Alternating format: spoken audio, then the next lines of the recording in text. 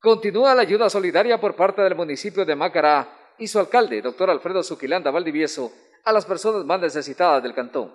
La señora Dorita Jaramillo, en su calidad de presidenta del voluntariado del Departamento de Acción Social, conjuntamente con personal del DAS, realizó la entrega de una cama, colchón y una silla de ruedas a una familia de escasos recursos económicos perteneciente al barrio Bello Horizonte en nuestra ciudad.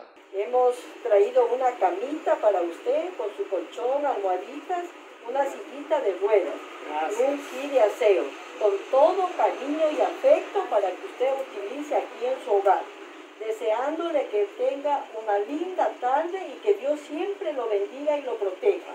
Palabras de gratitud y felicidad brillaron en el rostro de esta familia por este gesto.